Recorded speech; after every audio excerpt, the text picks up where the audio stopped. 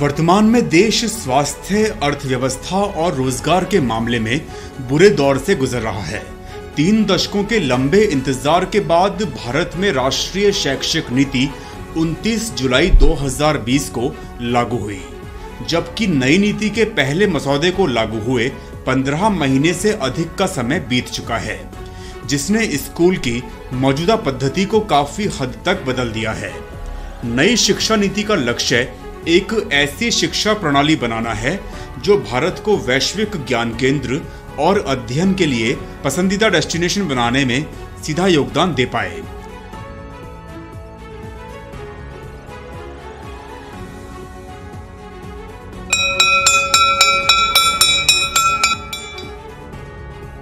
लंबे समय के लिए इस नीति को भारत के प्राथमिक और उच्च शिक्षा प्रणाली में कई मौलिक और व्यवहारिक परिवर्तन लाने की कल्पना की गई थी।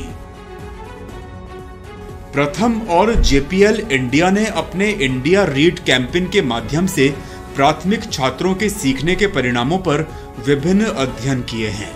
इसी तरह की तर्ज पर एनईपी ने भी प्रस्ताव दिया है कि बोर्ड परीक्षा में वस्तुनिष्ठ और विषय परक प्रश्न पत्र होंगे।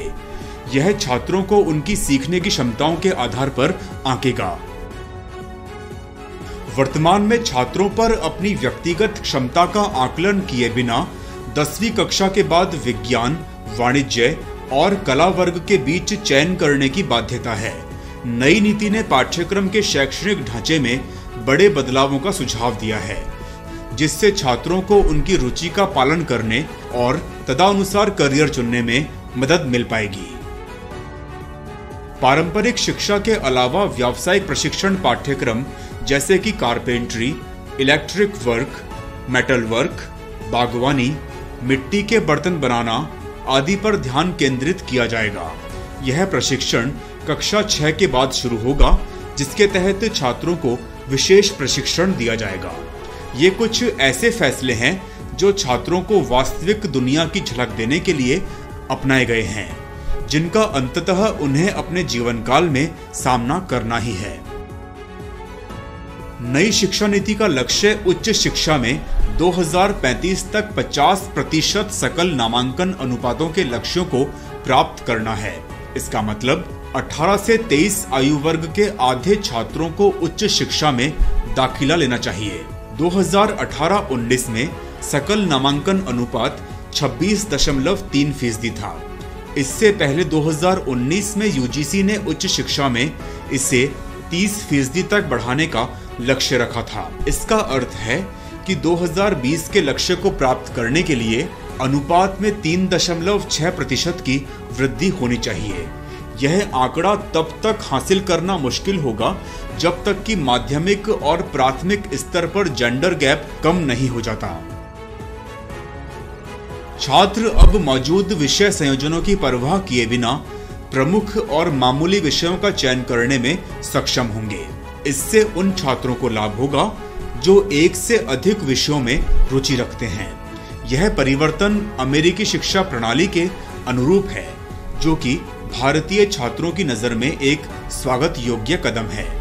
नई नीति ने शिक्षा के डिजिटल और तकनीकी पहलुओं को मज़बूत करने पर ध्यान केंद्रित किया है।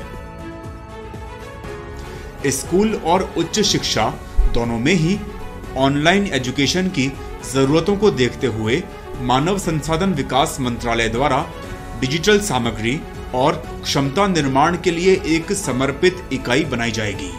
ऑनलाइन शिक्षा को बढ़ावा देने के लिए सिफारिशों का एक व्यापक सेट तैयार किया गया है, ताकि वर्तमान परिदृश्य में महामारी के दौरान शिक्षा को जारी रखा जा सके।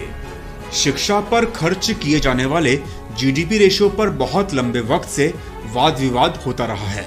वर्तमान में यह जीडीपी का सिर्फ़ एक दशमलव सात प्रतिशत है, जो कि यूके यूएस और न्यूजीलैंड जैसे देशों की तुलना में बहुत कम है। ऐसी सभी तुलनाओं को समाप्त करने के लिए नई शिक्षा नीति पर जीडीपी का 6 प्रतिशत व्यय करने की भी घोषणा की गई है। नई नीति के तहत कॉलेजेस और विश्वविद्यालयों को पूर्ण अधिकार दिए जाएँगे।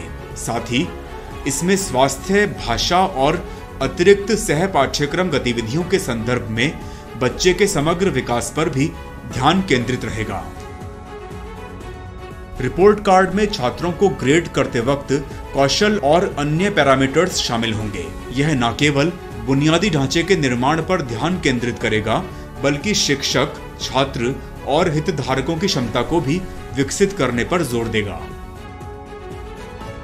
पहली नज़र में देखने पर नई शिक्षा नीति की बातें एक सुनहरे सपने की तरह लगती हैं। शैक्षिक नीति को सुधारने में पहले ही 34 वर्ष का समय बीत चुका है, जबकि इस दौरान सभी महत्वपूर्ण बिंदुओं को समय समय पर अपनाया जाता रहा है हमारी वर्तमान शैक्षिक प्रणाली में संशोधन करने के विचार काफ़ी रोमांचक हैं। आइए, हमारे देश की शिक्षा व्यवस्था में आने वाले सकारात्मक परिवर्तनों को देखने के लिए प्रतीक्षा करें